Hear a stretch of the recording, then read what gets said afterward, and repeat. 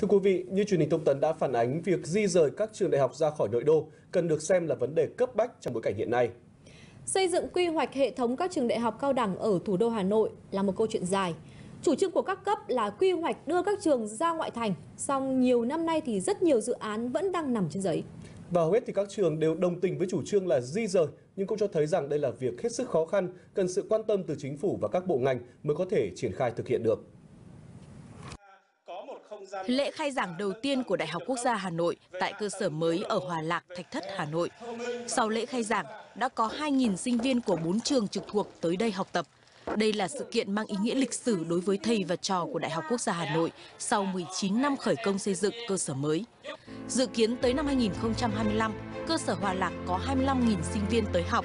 Tuy nhiên, việc di chuyển cơ sở đại học với quy mô lớn như Đại học Quốc gia Hà Nội gặp không ít khó khăn thì đều rất là quyết tâm qua các thời kỳ. Tuy nhiên thì nó cũng có những cái khó khăn chủ quan khách quan. Trong đó đặc biệt là những vấn đề liên quan đến vấn đề về bố trí vốn rồi công tác giải phóng mặt bằng thì nó cũng khá là phức tạp. Thế cho nên là là là cái cái việc thực hiện dự án nó cũng kéo dài. Đại học Quốc gia là cơ sở giáo dục tự chủ toàn diện với cơ chế ưu tiên đặc biệt về vốn, mặt bằng, nhưng cũng phải mất gần hai thập kỷ mới có thể bắt đầu di rời. Các trường còn lại vẫn đang loay hoay ở khâu lập đề án, dù nhiều trường đã được bố trí quỹ đất ở ngoại thành. Chưa có nguồn vốn là lý do chính của các trường cho việc chậm trễ này.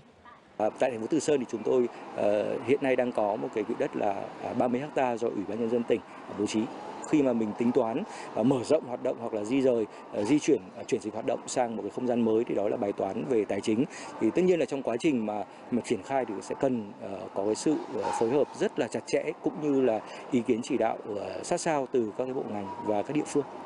Bên cạnh đó, sự thiếu đồng bộ của cơ sở vật chất, hệ sinh thái giáo dục ở ngoại thành cũng là vấn đề mà nhiều trường băn khoăn. Đại học mở Hà Nội với khoảng 14.000 sinh viên hiện phải đi thuê 3 khu vực mặt bằng để phục vụ đào tạo. Năm 2018, dù đã được cấp 5,3 hecta đất tại tỉnh Hưng Yên, phục vụ cho việc dự án di rời nhưng đến nay toàn bộ hoạt động giảng dạy chính quy vẫn được tiến hành tại nội đô. Rất là mong muốn uh, có một cái hệ sinh thái uh, giáo dục để làm sao đảm bảo rằng là uh, khi mà người học uh, thực hiện cái công tác uh, học và nghiên cứu tại đây cũng có thể là tiếp cận được với thị trường lao động rồi cũng có thể là uh, tiếp cận được với những cái ngôi trường đại học khác nữa thay vì là mỗi một trường đại học thì lại ở một cái địa điểm khác nhau. Tôi nghĩ là nguyên nhân thì rất là nhiều nhưng mà cơ bản là mấy chuyện thôi. Thứ nhất là các cái trường cũng, cũng là ngại đi xa. Bởi vì rất là nhiều trường là ngày xưa lại làm cái cuộc chuyển ngược là từ các cái vùng bên ngoài vào trung tâm ờ, đại học luật học viện tài chính thì bây giờ lại chuyển ngược ra thì bây giờ các thầy ở đây rồi gia đình ở đây rồi con cái điều kiện ở đây nó quen không gian văn hóa ở đây rồi Ờ, và có thầy thì còn nhiều năm công tác nhưng có những thầy nhất là các bộ chủ chốt thì thường là cũng có tuổi rồi. Đến một một ờ, năm bảy năm là nghỉ hưu ba bốn năm là nghỉ hưu. Cho nên là càng chân chừ càng nân đa di rời đại học là việc khó nhưng vẫn phải làm. Cái đang thiếu là các cơ chế chính sách và kết nối hạ tầng với các khu trung tâm.